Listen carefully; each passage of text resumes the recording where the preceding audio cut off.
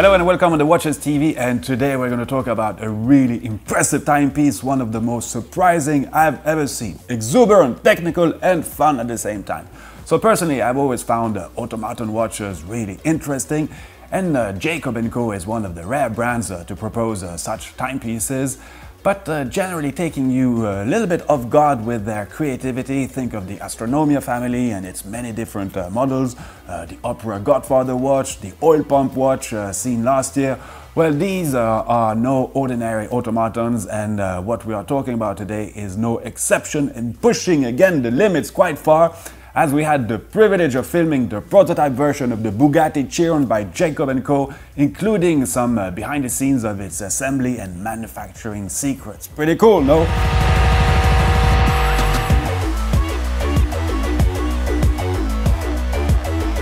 So I don't know if uh, you guys remember, but last year we had talked about the brand's uh, uh, new partnership with supercar maker Bugatti, announced at Baselworld, and for the occasion, well, they introduced the Bugatti version of the twin turbo Furious, uh, limited to 39 pieces. Very impressive, and I promise this is an understatement. Twin triple axis tourbillon minute repeater, monopusher chronograph. Yes, just another little simple watch. But this was uh, more like a special version of a timepiece which had already been uh, presented in 2018, but now they are really introducing a totally new watch to honor this partnership and when you consider the limited time it took them uh, to develop this, well this is already quite a performance by itself because we're not talking adding a little Bugatti logo on a dial, but putting an actual Bugatti Chiron on your wrist with the full package, engine and all, I mean it's simple as that. So when I first heard about this project, well, I originally thought that uh, the watch would be, I mean, huge, but actually it's quite compact, uh, if I can say so, and wearable, and I have small wrists. Okay, I understand that when I tell its vertical size of 54 millimeter, 44 millimeter in width, and 20 millimeter in height, well, this may seem massive, but strangely, it doesn't give this impression because you just have so much happening in such a small volume. But of course, I mean, you have something quite special and unique on the wrist.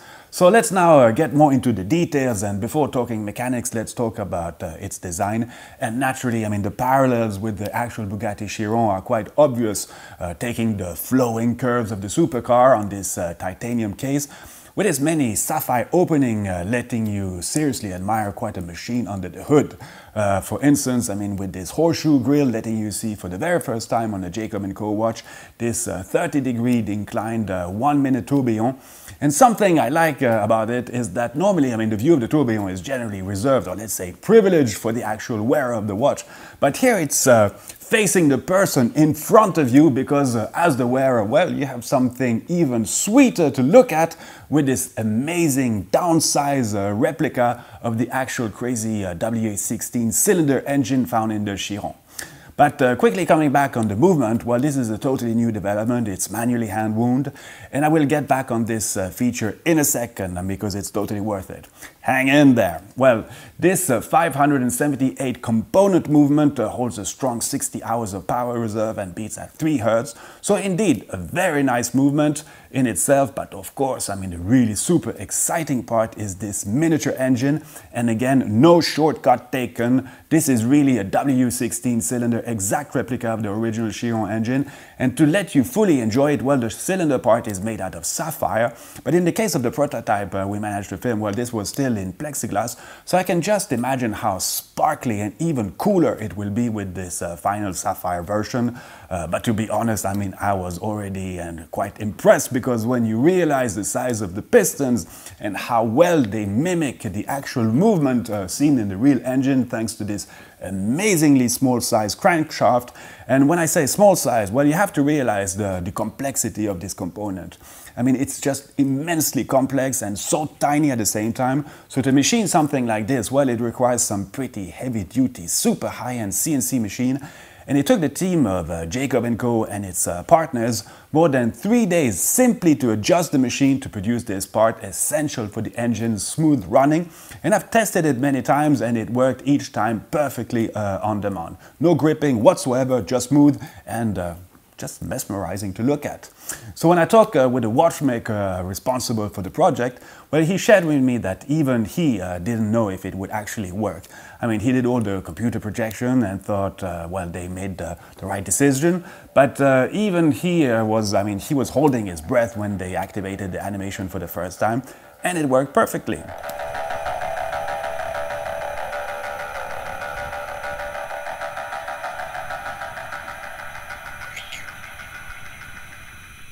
So the watch holds uh, two barrels, one for the actual movement, and uh, you can see the power reserve indicator at uh, 8 o'clock, and a second one for the animation. So to wind both barrels, you turn this uh, center crown either clockwise for the movement or counterclockwise for the animation.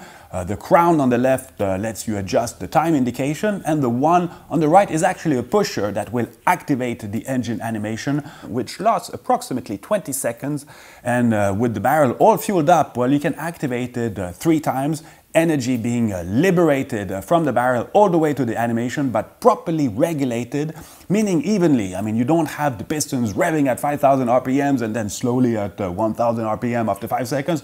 No, it's smooth and even, and this uh, thanks to a mechanical regulator found on the side. And to push a bit farther uh, the parallels uh, with the real car, well, here you will see two small turbochargers turning like crazy when the animation is running. So they uh, don't have any mechanical purposes, but they just are really super cool to look at. Like I said, no shortcuts. Okay, but the show doesn't stop there. As you can see, all the mechanical elements of this watch, uh, the time uh, telling movement and the animation movement are both found on some kind of special chassis, like the cars actually, but here acting as some kind of base plate and this entire structure is then held onto the watch's case uh, with a suspension uh, that you can clearly see uh, with these four struts that are not there for the decor. I mean, the movement is really suspended within the case and that's uh, already pretty nice. But this actually hides something totally awesome. And I guess some of you probably ask yourself, well, if this chassis can slightly move within the case, how can the crown stem not break? Well, this gets uh, really super cool because uh, they develop these uh, stems working like a cardan system and they will therefore adapt to these changing heights because had they been rigid, well, they could have definitely break and or, I mean, jam their function. Okay, small detail you see, but I really like this. So this timepiece, and listen to this, well, this timepiece is actually being officially launched here on the Watches TV. Pretty cool, no? And of course, uh, this will be limited, uh, but the first good news, well, at least for me, is that you don't have to be a Bugatti owner to apply for one. It will probably help, uh, of course, if uh, to get on top of the list if you indeed have a Chiron in your garage. But this is a limited edition piece uh, designed for customization. So the buyers can get exactly the timepiece they want, colors to match the Bugatti, uh, gem set, and more, of course. And we don't yet know final production volumes, but of course, I mean, we're not talking huge volumes.